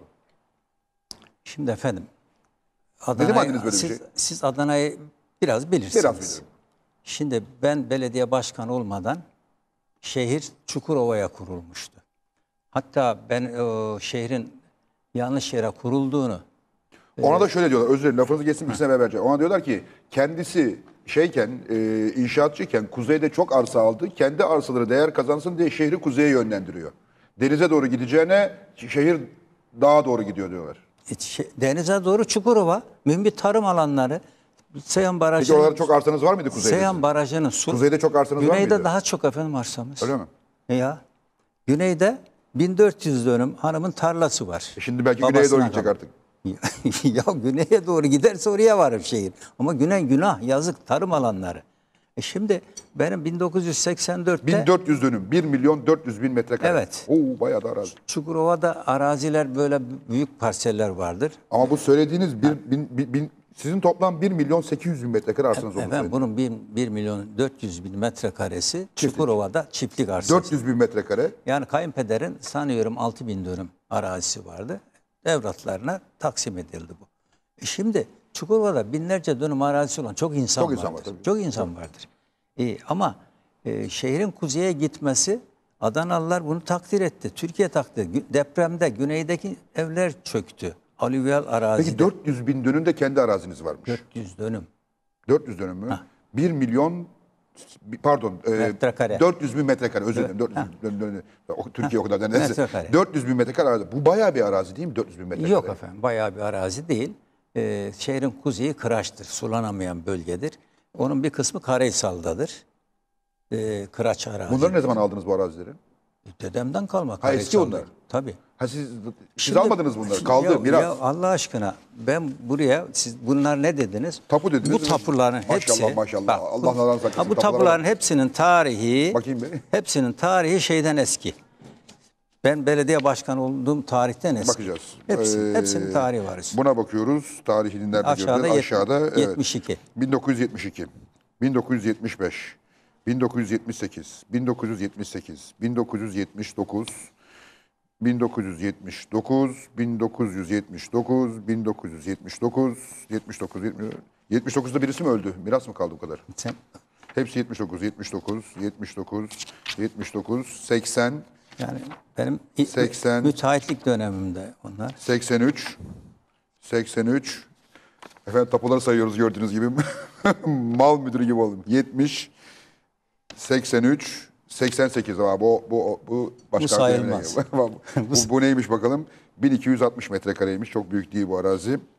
O 71, 71. Ha, onlar eşimin, eşimin bunlar 71 eşimizin, tarihli. 82.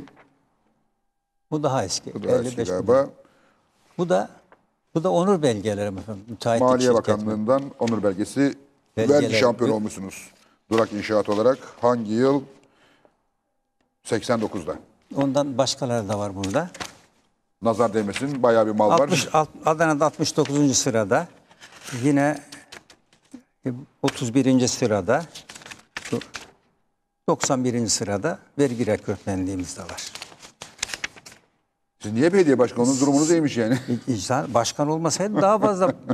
Efendim benim çok kur- düzenli kurulu bir müteahhitlik şirketim vardı. Adana'da kısa zamanda en çok apartman dairesi yapan şirketlerden biri haline geldim.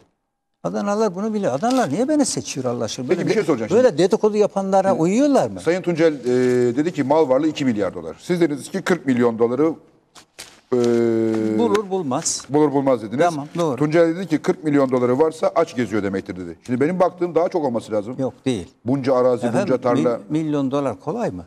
Yani Çukurova'daki tarlalar metrekaresi kaç liradır ki? Yani o kadar pahalı değil o tarlalar. Bu kuzeydeki arsalar da benim imar parseli olan yerlerim yani kıymetli yerlerim oldukça az. Yani siz İstanbul bazında düşünüyorsunuz olabilir. Çok kıymetli, çok değerlidir İstanbul. 30 lira metrekaresi diyorum. Bana diyor ki 100 liradan satmıştır belki Peki mesela diyor. size 40 milyon dolar versem Yani- bütün mal varınızı bana devreder misiniz? Etmem. İşim o benim. Varlığım o benim. O iş ayrı. Ama bugün satar mıyım, satmaz mıyım, ihtiyacım var mı yok mu ayrı konu. Bunun mal varlığının dedikodusunu yapmak ayrı. Önemli olan, Ama biliyorsunuz zenginin malı zürdün çenesini yorar. yoruyor işte. Ama önemli olan ben bu süreç içerisinde Vergilerimi ödemiş miyim? Peki Vergis- belediye başkanı olduğunuz vergis- dönemde hiç arazi almadınız mı? aldım. E onların tapuları nerede? E ne yapayım yani şimdi İşte bana hep eski tapuları getirmişsiniz. Eski, ben kasten eskileri getirdim. Yenileri Niye sakladınız. Niye eskileri getirdim? Ben buraya yani belediye başkanı Siz olmadan Eskiden de evvel zengindiniz de- ama şimdi belediye başkanı olmadan evvel- zengin olup belediye başkanı olduktan sonra çok zengin olmak da mümkün. Tabii bak şurada mesela tarihe bakın. Gazete ANAP adayı Aytaç Durak arsa spekülasyoncusudur. Kim Tarih diyor o? 1984. Yani- MDP adayı Erol Erkin basın toplantısında sizin hakkınızda yani söylediği. rakip adayın söylediği. Ne zaman söylemiş? Seçimlerden. Peki mesela ilk- mal varlığınız, e, a- sahip olduğunuz arazilerde ne kadarı başkanlık öncesi, ne kadarı başkanlık sonrası? çoğu başkanlık öncesi, Yani bu 400 bin metrekarenin ne kadarı başkanlık öncesidir, ne kadarı başkanlık sonrasıdır? çoğu başkanlık öncesi, Oran olarak versek. sonrası da vardır. Belki de Peki mesela bu arazilerin ne kadarına siz- sizin başkanlık döneminizde yol gitti, imar gitti? Efendim, şehrin kuzeyinde 80 bin dönüm arazi var. Benim e, 400 dönüm yerimin bu şehrin kuzeyinde Yeni Adana'da e, yarısı oradadır tapusu. 200 dönüm. Dönemi. Yani 80 bin dönümde 400. 80'de bir olsa 1000 dönüm Bin eder. 10 binde bir olsa yani 80 dönüm eder. Yani e, yüzde iki mesabesinde. E, Yani şehir kuzeye gitti. Şehir kuzeye giderken Siz e, götürdünüz ama. Ben götürdüm tabii. Ya ovaya mı götüreyim? Hanımın tarlalarına giderdik o zaman. Orada daha çok arazi var. Burada daha çok arazi var. Ama şehir kuzeye götürmeyi ben aday olmadan çok evvel evet. Adana'yı kuzeye taşıyoruz diye Ya, demişsiniz zaten. çok iddialıydım. Baktınız başkası taşımıyor, başkan olayım kendim mi taşıyayım dediniz. Başkan olunca zaten tempo tutmuştu. Gidiyordu yukarıya. Yalnız bu bu dedikodular işte bu MEDEP adayı ne zaman demiş? 84'te. 84'te ilk adaylığımda. Ondan sonra da her seçimde bu tip dedikodular demin Mustafa Bey'in yaptığı gibi afaki iddialar atılır durur. Bakın siz burada bir başka adayın isim vermeden burada konuşalım. Sadece tarihe bakın. 26 Şubat 2004. O 2004 seçimler öncesi ne demiş? Durak'ın yolsuzluk dosyaları elimde Evet. demiş bu şahıs. Evet. Aradan 5 sene geçmiş. Yine seçim var. Ne diyor? Dosyalarınızı açıyorum diyor. Ya aç kardeşim diyorum ya. Mustafa'ya dedim ki lan vereceksen ver, nereye vereceksen ver. Yani bu dedikoduları getirip Türkiye ekranlarına, sizin gibi kıymetli program yapımcıların ekranlarına taşımak çok ayıp. E, ne yapalım şimdi? Adliye orada efendim, adliye orada diyorum ben, savcı orada. Ben Allah'a şükür bugüne kadar e, hesabımı vermeyen bir adam değilim. Peki şimdi mesela yine Adana'dan çok gelen bir suçlamayı hemen size yönelteyim. Ee, diyorlar ki park ve bahçelerin bitki temin ve tüm peyzaj işlerini kızı yapıyor. İşte o da iftiracının biri. Erkekse, yiğitse ispat etsin. Benim kızımı peyzaj mimarı değil, benim kızım iç mimar. Bu dedikodular hep yakıştırma. Yani bu yenilmez arma da burada. Yani öyle bir belediye başkanı var ki yıllardır halk istiyor, halk seviyor. Hangi parti olursa olsun oyu veriyor. Üç parti değişti, üçünü de verdiler. E, veriyor. E, değiştiremiyorlar. Dedikodu, iftira ve bir de menfaat sağlayamayanlar var. Benim belediyemde, benim göz mesafemde asla ben rüşvete müsaade etmedim. Bakın şimdi Peki ateş olmayan yerden bu kadar çok duman çıkması normal mi? Tabii çok oturursanız orada siz, uzun süre iktidar olursanız hiçbir iktidar Türkiye'de 5-10 seneden fazla sürmüyor. Niye sürmüyor? Bu dedikodular yıpratıyor iktidarları. Ama Allah'a şükür beni yıpratamadılar. Şimdi bakın Başkan isterseniz ona reklamdan sonra bakalım. Yine reklam işi arkadaşlarım Yani görüyor. ben başlığını söyleyeyim. Söyleyin başlığını. Burada biz her ay her alım satımdan sonra Yazıyoruz. İçişleri Bakanı'na mal beyanında bulunuruz. Ve her belediye başkanı bulunur.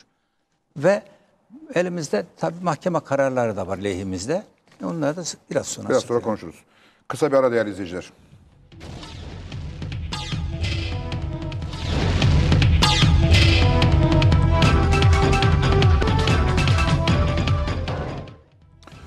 Aytaç Bey gelen maillerden birkaç soru var. Onları hemen söyleyeyim. Belediyeye ait olan şirketlerde emekli hakimleri istihdam ettiğiniz ve bu yolla yargı üzerinde etkinlik sağladığınızı iddia ediyor bir vatandaş doğru mu? Efendim tecrübeye, ihtisasa saygım var. Benim yaşım ilerledikçe deneyim artıyor. Kendimden biliyorum. Şimdi gençlere göre biz daha iyi karar verebiliyoruz. Onların da deneyimden istifade ediyorum. İki tane emekli hakim var. İki tane de emekli albay var. Demek orduyu da kullanmak istiyorum öyle diyelim. İki emekli hakim var, iki daha emekli albay var. İki de emekli albay Belediye var. şirketleri çalışan. Demek askeriye de ben kullanacağım. Ee, başka emekliler de vardır. Çünkü bunlar e, sicilleri temiz, geçmişleri iyi insanlar. Biz de çalışır. Memnun oluruz. Peki bir soru daha var. Ee, imanı değiştirip sattığı arsaları sorun. Ee, bir e, arsanın iman edilmek için arsa sahiplerinden aldığı paraları sorun. 20 yıldır bitmeyen metroyu sorun. Devlet kredi vermedi bahanesi ne inandırıcı bulmuyoruz. Gölün üstüne iki köprü yaptırmanın ne gereği vardı onu da sorun. Mustafa Tunci'nin kendisini ne kadar koruyup kolladığını da sorun.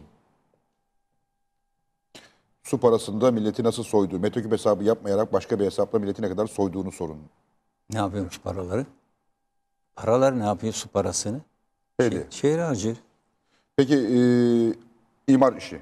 Kendi arsanıza imar verdiğiniz oldu mu hiç belediye meclisinde? Şimdi efendim şehrin kuzeyi Yeni Adana 200 bin konutluk Yeni Adana yani benim arsamın 200 katı büyüklüğünde bir arazinin binlerce hissedarı var. Bunların hepsinin imarı yeni. Benim başkanlık yaptığım dönemde orası şehir oldu. İmar planı yapılmıyor muydu oraya? Yapılacaktı. İmar da verilecekti. E, ve e, o şehrin orada yapılmasından dolayı da Adana halkı bana oy veriyor. İsabetli karar verdin diye. Depremi düşünebiliyor musunuz? 150 kişi Çukurova'da mümbit tarım alanlarında alüvyal arazi yapılan inşaatlar. Aynı İzmit depreminde olduğu gibi Kocaeli'nde. Yol kenarındaki alüvyal yerdekiler yıkılıyor ama tepelerdekiler yıkılmıyor. Ya Adana'yı da ben yukarılara çektim. Yani ileriye Kendi göre- arazinizde imar verdiğiniz oldu mu bu arada? Oldu tabii. Çok oldu. Yani o benim arazilerim de orada. İlk defa ben bu müteahhitliği yaptığım yıllarda oraların imarı yoktu. Alıyordum, mevzi imar planı yapıyorduk. Orada konut yapıyorduk. Belediye başkanı değil. Peki mesela bu işten bu, bu, bu normal mi sizce? Yani bir belediye başkanının kendi arazilerinin olduğu yere de imar vermesi. Efendim şehrin tamamında e, sizin arsalarınızın olduğu yerler kıraç, şehir dışında çorak ve sağlam zeminli yerlerse, şehir de oraya gidecek ise 80 yılından yani bele- 84 yılından evvel belediye başkanı olduğum dönemde şehir oraya gitmesin mi diyeceğim. Ben 1980 öncesi belediye meclisinde üyeydim. Zamanın belediye başkanı muhalif partiliydi bana göre. Ben muhalefet meclis üyesiydim. Şehri kuzeye taşı diye teklif ettiğimde bana dedi ki senin orada arsaların var dedi. E peki dedim ben şehrin dört tarafında arsa alırsam siz şehri büyütmeyecek misiniz dedim. Şehrin gideceği yeri biliyor isem ve ben müteahhitlik dönemimde oraların şehir olacağını olması gerektiğini kendi bütçeme, kendi ağırlığımı koyarak işte şu broşürde olduğu gibi yıllar önce Aytaç Bey, e, CHP'li meclis üyesi Bekir Sıtkı Özer arıyormuş. E, belki de bantta adı geçen o muydu, e, sesi duyulan o muydu bilmiyorum. E, siz biliyorsunuz. E, Yok, o değil. O değil miydi? O değil. Bekir Sıtkı Bey telefonda mı acaba? Evet efendim, iyi akşamlar diliyorum. Evet, iyi akşamlar. Buyurun. Sayın Başkan size de iyi akşamlar diliyorum. teşekkür ederim. Sayın Başkan'a bir soru sormak istiyorum. Aşağı yukarı bir yılı dolduracağız beraber. Benim hakkımdaki görüşleriniz nedir? Önce onu öğrenmek istiyorum. Bence si- be- sizce ben dürüst müyüm değil miyim? Şimdi efendim bunu birkaç defa sordunuz, birkaç defa ifade ettim. Sizden herhangi bir negatif e, istihbarat almadım bu, e, bulunduğum süreç içerisinde. Bunu da tekraren tekraren söyledim. Sizin bu kasette adınız geçmesi sizin bu kasetin pisliğine bulaştığınız anlamına gelmemeli. Orada siz Sami'nin sıfatıyla bildiğim kadarıyla bu kadın kaseti önce size dinletmiş vaktiyle ve bu kasette siz de ona yol göstermişsiniz. Daha doğrusu kaseti dinletmeden evvel size gelmiş kadının ifadesi. Bana dedi ki gittim danıştım dedi. O da demiş siz de demişsiniz ki sesini bandal demişsiniz. Akıl vermişsiniz. Bunu öyle söyledi. İsabetli olmuş. Hakan bunu bu Sayın ka- Başkanım ben müsaade ederseniz ben devam edeyim. Şimdi ben şunu söylüyorum. Bu kasetin açıklanmasıyla ben açıkladım. Açıklanmasıyla Adana'daki belediyenin rüşvetle ilgili bulaşıklığı olup olmadığı savcılığa teslim ettik. Savcılığın kararları projektör altında belediyemiz de projektör altına alacak. Ve Adanalı da daha teyakkuz haline geçecek.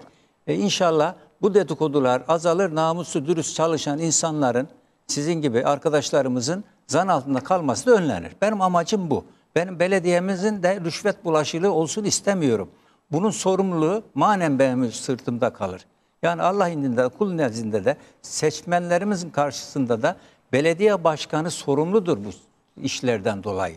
O bakımdan bu işlerin düzelmesini istiyorum. Bekir Sıtkı Bey buyurun siz ne diyorsunuz Sayın Başkan'la ilgili? E, bence hemen kısaca özetleyeyim. Bu e, petrol istasyonu ile ilgili bir olaydır. Bu petrol istasyonunun hiçbir sorunu yoktu. Sayın Başkan da gayet iyi biliyor. Şey, öncelikle Seyhan Belediye Meclisi'nden geçti. Daha sonra Büyükşehir Belediye Meclisi'ne geldi. Bu arada bu e, işleri takip eden bayan e, gelip beni buldu. Dedi ki Sayın Özer dedi sizin için çok düzgün insan diyorlar, çok dürüst diyorlar. Bakın benden çok ciddi olarak bir takım taleplerde bulunuyorlar dedi. Nasıl diyorlar? Bu e, işten bizden para istiyorlar dediler. Ben de dedim ki sizin dosyanızda herhangi bir problem yok. Siz kuruş para vermeyeceksiniz.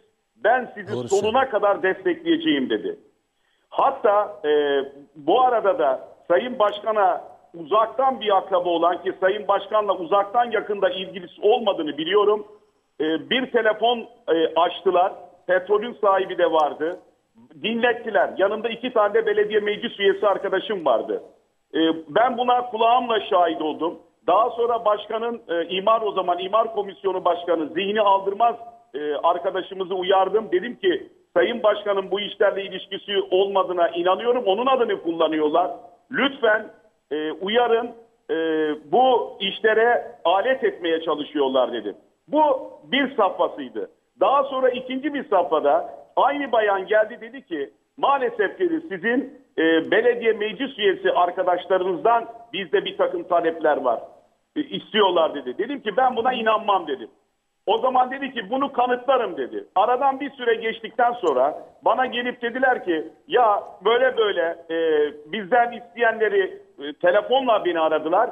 Dediler ki benden para isteyenlerin size şeyini dinleteyim. Pazarlık yapanların. Telefonda ben bunları dinledim. Ancak e, daha sonraki bu ilk aşamada bu petrol yeri olumlu olmasına rağmen e, komisyonlarda bekletilerek reddedildi. Doğru mudur Sayın Başkan? Doğrudur. Daha sonra ikinci aşamada hatırlayın sizin meclis komisyonuna geldiğiniz bir durumda Oktay Bey lütfen dedim bunun dosyasını getirin bir problem olup olmadığını söyleyin dedim. Artık ben bunu bir görev olarak kabul etmiştim. Çünkü gerçekten hiçbir problemi olmayan bir dosya göz göre göre katlediliyordu. Sonuçta bu meclisten geçti. Öyle mi Sayın Başkan? Kaç ay bekletildi? 3-4 ay Ni- niçin bekletiliyor? İşte efendim onun onun onun artık şeyini takdirini insanlara sor- soruyorum. Halbuki- Burada yalnız Sayın Altaylı altını çizerek net bir şey söylüyorum. Buyurun. Kesinlikle kuruş para mara verilmedi ve alınmadı da. Çünkü aba altından sopa göstererek bu talepte bulunan insanların üzerine gittim ve de bu iş gerçekleşmedi efendim. Bunun altını çiziyorum. Teşekkürler Bekir Sıtkı Bey. Bekir Bey, Bekir Bey hatta mısınız? hattaysanız daha öncesi de bir bu kadın para harcamış olabilir mi bazı Onu arkadaşlar? bilemem efendim. Onu bilemem. Ben yalnız şunu söyledim. Dosyanız düzgün, kadın bağlanabilir. Kesinlikle kimseye kuruş vermeyeceksiniz dedim. Ben bunu açık ve net söyledim ve şunu da söyledim. Eğer kuruş para verirseniz kesinlikle karşınızda olurum. Sizi çıkarım basın önünde de bu şekilde suçlarım dedim. Şimdi e, Sayın Başkan'ın bu mecliste bu bantı e, dile getirdiği sırada bir gün önce çok ciddi olarak mecliste tartışmalar olmuştu. Sayın Başkan kaseti dinlettirdikten sonra dedi ki dün celallenenler şimdi konuşsun dedi. E ben dün celallenenlerden birisi bendim. Öbürü Mustafa Tuncel'di. Yalnız altını çizerek söylüyorum Sayın Altaylı. Mustafa Tuncel'in bu kasette kesinlikle adı geçmiyor. Adı geçenlerden biri benim. Benim için de çok düzgün, çok namuslu bir adam Evet. lafı geçiyor. Onun ötesindeki dökümanı bilmiyorum. Çünkü aradan aşağı yukarı Ey- Eylül'den, bu Ağustos'tan bu yana geçen e, ayı hesaplarsanız 6 ay falan oldu. 6 ay geçmiş bir kasetin işte teknolojiyi de biliyorsunuz ne olup ne olmadığını Doğrusunu ben de e, eğer savcılığa beni çağırdıklarında ben de orada dinleyeceğim. En son halini ne olup olmadığını orada göreceğim. Ben Sayın Başkan'a da hatırlıyor. AKP Belediye Meclis Üyesi Levent Özveren'le beraber yanına gidip e, basın bürosundaydı. Tesadüfen de biz de oradaydık. Dedik ki ya bazı şeyleri anlatalım. Sayın Başkan dedik. Bakın gazetelerde ciddi ayyukalar var. Peki Bekir Sıtkı Bey, Bekir Sıtkı Bey. Ben başka bir şey soracağım. altında bırakılıyor. Başka bir şey sormak istiyorum. Ee, me- Sayın Başkan'ın meclis içerisinde İmar Partisi kurulduğu yönünde bir iddiası var. Siz böyle bir partinin varlığını hissettiniz mi? Sayın Alsaylı. Efendim? Biz o gün, o gün, o gün e, Sayın Durak'la görüşmeye gittiğimizde e, o gün bu yazı yazıla, yayınlanmıştı. Bir yerel gazetede, bir köşede. Sayın Başkan da gazeteyi istedi. O gazeteyi bizim yanımıza da okudu. Dedi ki biz kimseyi zan altında bırakmak istemiyoruz ama bazı çirkinliklerin döndüğünü biliyoruz dedi. Nedir çirkinlikler? Şimdi siz isterseniz dosyayı alırsınız, aylarca bekletirsiniz, insanları mağdur edersiniz. Ha Peki bekleten kim? Sayın Durak mı bekletmiş bu dosyayı? Hayır efendim ben durak filan demiyorum. Komisyonlar bekletir. Komisyonlarda bekletir. Veya efendim müdürlüklerde bekletilir. Bunlar yapılabilir. Maalesef yapılıyor. E, onun Yani rüşvet almak için ortam hazırlanır diyorsunuz. e, o hazırlanır. Yani maalesef belediyelerde dönen olay budur. Ben bunu söylüyorum ama Sayın Başkan kabul etmiyor. İmar yapma yetkisi belediyelere verildikten sonra kentleri talan ettik, yok ettik ve rüşvetle tavan yaptı maalesef. Teşekkürler Bekir Bey.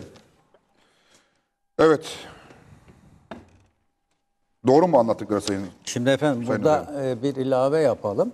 E, o kadın işinin icabı kendinden yokuşa süren ve rüşvet isteyenlerin e, ne yapması gereğini danışmış güvendiği için ve kaset almış. Bana güvenmese bana gelmezdi. Demek ki bana da güveniyor. Burada bu kasetin açıklanmasının ana amaçlarından biri benim halk artık e, bize güveniyor da cesur olsun. Biz o halka sahip çıkacağız. Eğer o kadın haklıysa kimseye para vermesine gerek yok. Ben zaten bunun içinde Türkiye'de hiçbir belediyede olmayan standartları getirdim. Burada bir evrakım var. 1976 yılında Adana'da o zaman imar tasdik merciği İmar İskan Bakanlığı'ydı Ankara'da. Belediye meclisleri aldıkları kararları Ankara'ya O gönderirler. etkilendi. Onay alırdı. Ama o tarihlerde Ankara'da rüşvet dönüyordu. Ve bundan dolayı bir de Rantın evrak olduğu her yerde bir rüşvet oluyor demek ki. gecikiyordu.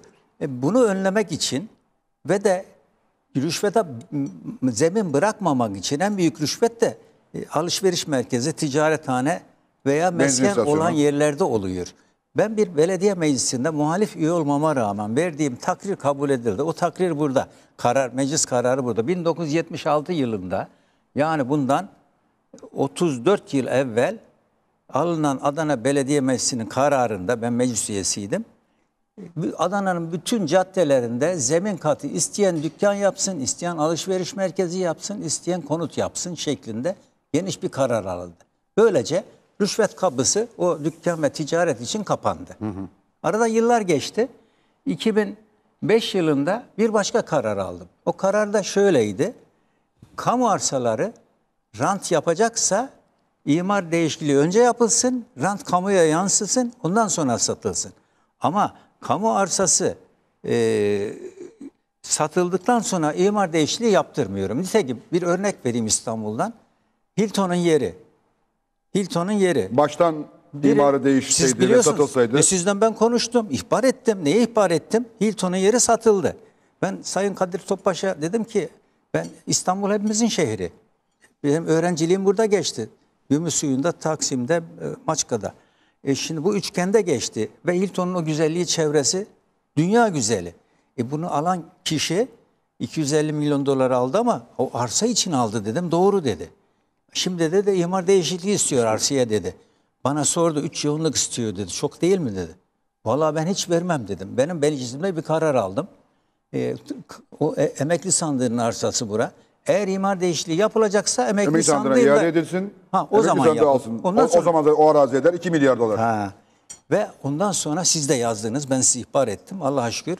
Rüşvetin göz mesafem nerede varsa orayla uğraşırım ben. Peki şimdi Dur, siz devam Ö- ediyorum. Dur, bir dakika bir dakika başka bir dakika ben benim soracaklarım var. Siz devam ediyorsunuz ama Ama bu rüşvetlerin belediyelerde nasıl önlenir bütün arkadaşlarımız Şimdi belediyelerin o rüşvet işine bakalım. Şimdi size olan iddialar var. Diyor ki Hazine'nin 76 dönümlük arazisini belediyeye devredip bazı oyunlarla hanımının üzerine nasıl geçirdi? Allah Allah. İşte efendim bir kanun, hukuk devletinde yaşıyoruz. O arsa eee, eee, sanıyorum arsa ofisinindi. O satıyorlardı. Belediyemiz arsa alır ve satar. Eee, belediyemiz ben 1984'te belediyeye geldiğimde 10 bin dönüm yer satın aldım belediye adına. Bu yeni Adana'da. Bakın 10 bin dönüm yer. Benim ne kadarmış arsam orada? İşte 70-80-100 dönümdür imarlı, değerli olan yer. 10 bin dönüm yer şimdi belediyenin kamulaştığı Türkiye'de hiçbir belediye 10 bin dönüm hayal edemez. İlan ediyorum burada. Hiçbir belediye başkanımız bugüne kadar 10 bin dönüm yeri bir kalemde kamulaştırma kararı alıp kamulaştıramamıştır. Ben şehir kurdum orada. 10 bin dönüm yer satın aldım. E, burada e, alınan yerler içerisinde sorunuz neydi? Ben Bu 56 dönüm, 50, 76 dönümlük Ha. hazine arazisini içinize satmışsınız. Belediye belediye o 10 bin dönüm yeri sattı zaman içerisinde. Kime sattı? Özel sektöre, şahıslara sattı. İşte belediye bir yandan alır, bir yandan satar. Ama eşinize satmanız normal mi Sayın Eşime Başkan? satmadı canım yok. Belediye sattı, bir kooperatif almış. Zaman içinde kooperatif inşaat yapacak iken e, Sosyal Sigortalar Kurumu kredisiyle yapılan dönemde sonra TOKİ toplu konut kredileri başladı. Sigortalı işçiler bunu yapamayacaklarını anlamışlar. Ödeme güçlerinden dolayı da orayı tekrar sattılar. Kaç yıl sonra?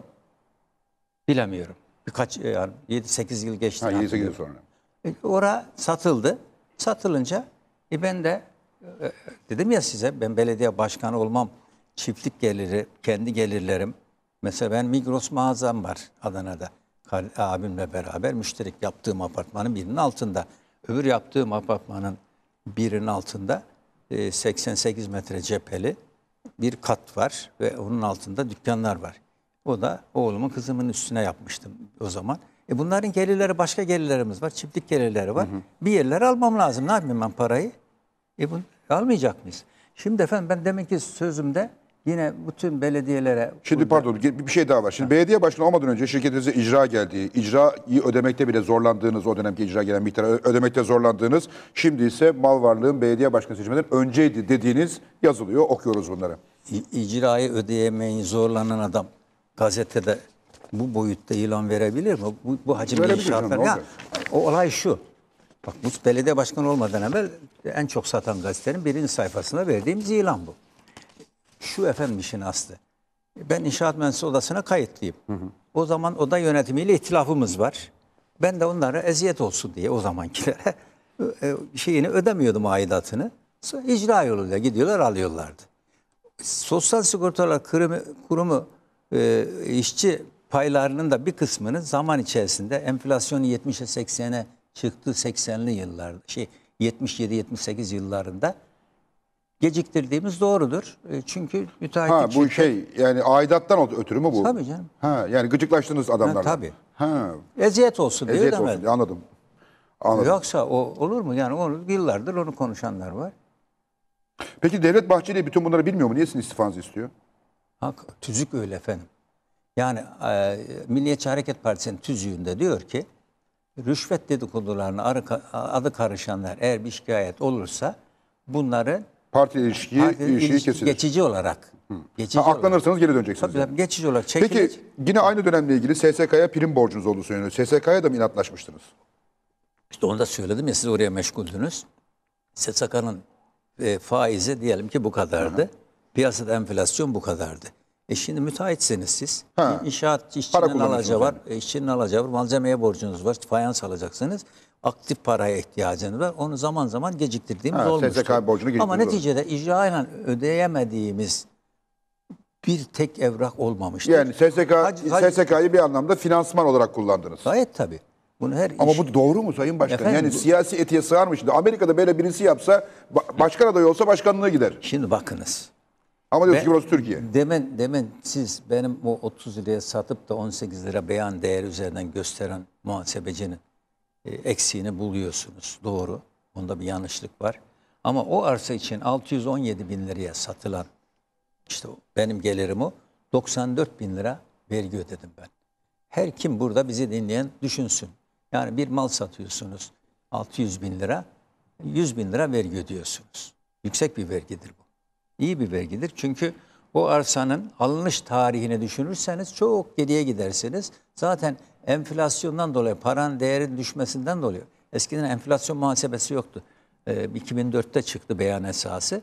O es- çok eskiden aldığınız gayrimenkullerin eğer inşaat yapacaksan, eğer inşaat şirketiniz varsa e, o, o faturasını eski bedel üzerinden kullanırsınız. Onun için de ya bunu tezelden satmanız lazım veya bir yakınıza satarsınız. Alırken yüksek değerden alırsınız, emlak alım satım vergilerini ödersiniz de gerçek değerini bulursunuz. Yani öyle özel Peki yine bir iddia daha var. Özür dilerim lafınızı kestim bununla ilgili ama diyorlar ki metro projesinde metroyu kendi arazilerinin yakınından geçirmek için tadilat yaptı. Tam tersine. Siz Adana'yı o kadar fazla bilemeyebilsin. Tadilatın güneye inmesiydi. D400'den aşağı güneyde daha çok Güneydoğuların ve Arap kökenli vatandaşlarımız oturduğu e, kısmen kendilerini dışlanmış addedilen bu Fakruzatte içerisindeki mahallelerin içinden geçsin istedim. istediniz. O zaman bana siyaseten o mahallenin temsilciler karşı çıktı. O mahallelerin temsilcisi olan bir milletvekili karşı çıktı. Bir belediye başkanı karşı çıktı. Güney inmesin dedi. Hatta bir canlı yayında ya siz Güney'in çocuklarısınız dedim Allah aşkına. Ben Kuzey'in çocuğuyum. Ben metro Güney'e insin diyorum. Eskiden Çifteminarlı camiden dönecek. E, Girne Köprüsü'nden yürüyerek geçecekti. Şimdi aşağı inmek suretiyle o insanlar da metrodan istifade edecek. Sayın Başkan yine bir kısa ara vereceğim reklam için sonra devam edeceğiz.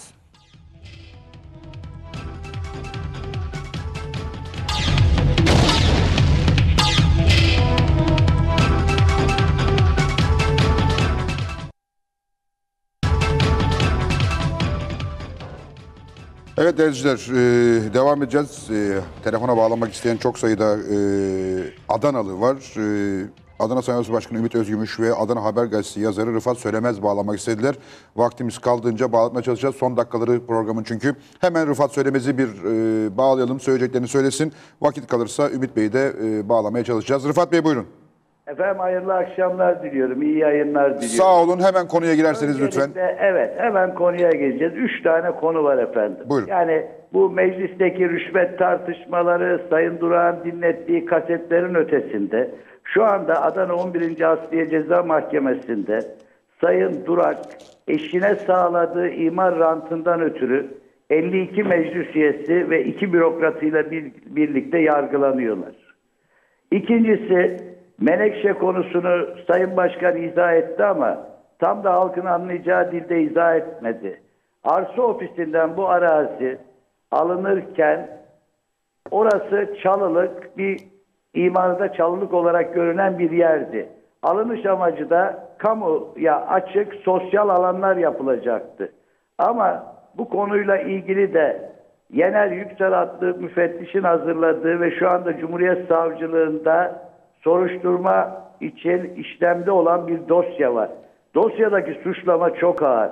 Paravan kooperatif kurdurarak, ihaleye fesat karıştırarak, arazinin eşine devredilmesini sağladığı iddiasıyla müfettiş raporları var. Orası kurdurulan kooperatifin ortakları, Sayın Durak'ın akrabaları ve belediyede Sayın Durak'a yakın olan 7 bürokrat, 7 kişiden oluşuyor bu kooperatif. Kooperatif bir yıl araziyi bekletiyor, hiçbir işlem yapmıyor. Bu arada belediye orayı imar değişikliğiyle konut alanına çeviriyor. Daha sonra da bir yıl sonra da eşi Fahriye Durak'a devrediyor. Devredildiği rakam 52 milyar lira. Bugün orayı Sayın Durak acaba 50 trilyon Türk lirasına satar mı diye bir sormanız lazım. E, satar. Üçüncüsü. Satarım dedi. müfettiş- Satar satar. Rıfat Bey satarım dedi. Alacak olanlar var efendim orayı. Adana'da alacak olanlar Eğer var. eğer getirmezsen bak zan altında kalırsın. Yok yok verirler efendim orayı. Sen ama bak Adanalılar dinliyor seni. Gökhan Durak Bey izin Bak, verirse... yoksa zaten yalancı olursun ha. verirler. Bir dakika ben üçüncü önemli... Sen yalancı Süremizi- olma. Süremizi iyi değerlendirelim Sayın Altaylı. Üçüncüsü efendim bugün siz haber bültenlerinizde de verdiniz. Bunlar- Bunları biz iki yıldır bu gazetemizde yazıyoruz ama sesimiz bu rüşvet tartışmalarından sonra ulusala yansıdı. Belediyenin hissedarı olduğu 13 bin metrekare bir arazi var. Bunun 6500 metrekaresi Büyükşehir Belediyesi'ne ait, 6500 metrekaresi de bir vatandaşa ait. Vatandaş hissedar ortak olduğu için bu araziyi Büyükşehir'den satın almak istiyor. Ama Sayın Durak ve bürokratları bu araziyi satmayacaklarını söylüyor. Bir dakika Sayın Başkan. İhalesiz, sat, ihalesiz satın almak istedi. Bir dakika efendim. İhalesi de ilk önce o vatandaşın hakkıdır. Ama Büyükşehir Ha- hakkı değil. Yalancı- Bir dakika şey, yanlış söyleme. Başkan, Bir Ya- dakika Sayın Başkan. yanlış söyleme ama. Yalanı ben beceremem hayatımda. Oo, Sayın Başkan sizi 6500 sizi Adanalı tanıyor yapma Allah aşkına. ilgili ihale açıyor. İhaleye katılan damadı Bekir Cavcav ve 262 milyar liraya burası satılıyor. Bugün oranın değeri 3 trilyon lira Sayın Altaylı. Orayı da veriyorum diyorsa oraya da Adana'da alacak çok iş adamı vardır. Yarın sen onu o- onda onda birini Aytaç getir. Duran, Aytaş Duran başkanı olduğu bir kurumun ihalesine birinci derecede kan ve ikinci derecede sıhhi ısım akrabaları yani kayınları, damatları, kayınbabaları ihalelere katılamaz. Sayın Durak maalesef suç işlemeyi bir meziyet sayan bir kişiliktir ve bunu bütün konuşmalarında korkmayacaksınız, kanunları takmayacaksınız ve suç işleyeceksiniz diyen bir şahsiyettir. Şimdi bunları Tövbe tövbe. Şimdi bunlar, bu- bunlar, bunlar dedikoduya giriyor. Bunlar Hayır hayır efendim. Sayın Altaylı. Buyurun efendim. Bunların hepsi Sayın Duran gazetelere yansıyan demeçleridir. Öyle mi? Ben size onları da yarın sabah faks yoluyla, mail yoluyla göndereceğim bir bakın. Tabii bakalım. Damadına arsa satması, Yok ona demiyor. O, o- onları söyleyebilirsiniz. Şimdi Menekşe'de şimdi paravan kooperatif kurdurarak eşine 73 dönüm araziyi intikal ettirmesi gerçekten Sayın Duran önümüzdeki süreçte başını ağrıtacak ciddi konulardan Rıfat Bey çok teşekkür ediyorum. Süremizi doldurduğumuz için Sağ olun, kesmek sağ olun zorundayım. efendim, sağ olun. Ee, çok teşekkürler. Evet Sayın Durak, e, az önce sözünü ettiğiniz kooperatifin paravan kooperatif olduğu ve e, bu araziyi eşinizin üzerine alabilmek için kooperatifi kullandığınız iddia ediliyor. Diğerlerini bir kenara bırakırsak. Şimdi efendim diğerleri de dahil söylediklerin hepsinde sonuç olarak e, ihaleyle satılan, ihaleyle alınan, aleni herkesin katıldığı, çok kişinin iştirak ettiği bu olaylar bunlar. Ama şimdi belediye başkanı olduğunuz zaman çalılık bir araziye eğer imar verip oradan yol geçiriyorsanız büyük avantaj İmar sağlarsınız. verdikten sonra satıyorum.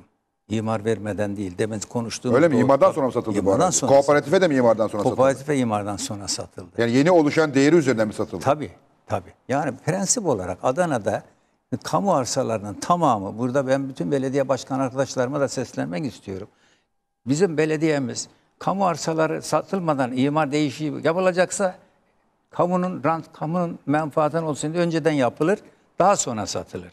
Yok, adam gelir orayı belediye hizmet alanını satın alır ucuza. Ondan sonra gel bunu değiştireyim derse biz onu değiştirmiyoruz. Gündem böyle Peki alıyoruz. son bir şey soracağım. Bu, bu demen Mustafa Bey'in de söylediği, şimdiki arkadaşın da söylediği tek doğru e, bu Demirel Bulvarı'ndaki arsanın yargıya yansımış olması. Ama bakarsanız hakim takipsizlik kararı veriyor. Yargılanmıyoruz Peki orada daha. hakimlere e, oğlunuzun e, evlerinden e, yaptığı rezidanslardan daire verdiğinizi iddia eden bir mail geldi. O doğru mu? Yok efendim öyle şey olur mu? Alabilir ama öyle sattığınız ben duymadım. Yani diyorlar ki 700 milyarlık evlerden hakimler nasıl aldılar diye soruyor. birisi. Hayır almadı hakimler. Hangi hakim almış? Bilmiyorum ki vallahi iddia yani. Yok işte Sorayım. Adanalılar dinliyor burada. Yarın açarlar size söylerler, bana da söylerler. Efendim dedikodu ve iftiralarla biz e, yıllardır muhatap oluyoruz. Ben kaç yıllık belediye başkanıyım? 20. Ve 21. 26 sene oldu ben belediye başkanı olalı. Bir dönem hariç. Ondan evvel de e, ben Adana'da 1963-65 arası devlet su işlerinde. 65 68 arası köy hizmetlerinde Sayın Durak vaktimiz olarak. doldu galiba. Arkadaşlar isyan halindeler. Bir sonraki programın süresine sarkıyoruz. Şimdi bak burada bir şeyi unuttuk. İki tane evrak var. Evet. Biri valiye her ay bir gayrimenkulümüzde bir değişik olursa mal beyanı Mal veririz. Bu kanuni mecburiyettir veriyoruz.